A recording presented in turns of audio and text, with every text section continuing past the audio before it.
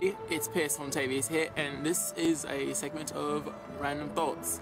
And here's a thought that I had the other day. Men should be careful, especially straight men, because if you, these days, if you do a girl wrong, there's a big chance that that girl might, you never know, that girl might come on to be famous, and then next thing you know, she's writing a song about you, talking about how you did her wrong. Because Adele, she has wrote, written so many songs about people doing her wrong, like different guys that she dated and they did her wrong. And Taylor Swift, she's another one. She writes about these boys who did her wrong. Uh, you're the reason for my teardrops on my guitar. Then everyone feels really bad for her. And then they just like, if they find out who you are, then that's just gonna be a whole bunch of slack that you're gonna get. Because people gonna be like, oh my gosh, that dude, you're that dude she wrote that song about.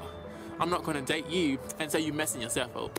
So keep that in mind. It's a random thought that you should keep in mind don't screw a girl over because she might become famous and write a song about you and then yeah it'll be terrible.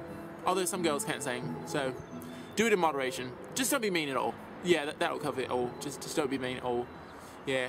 Alright everybody I hope you're having a great day. This has been Random Thoughts. And I'm Pierce Fontavious talk to you later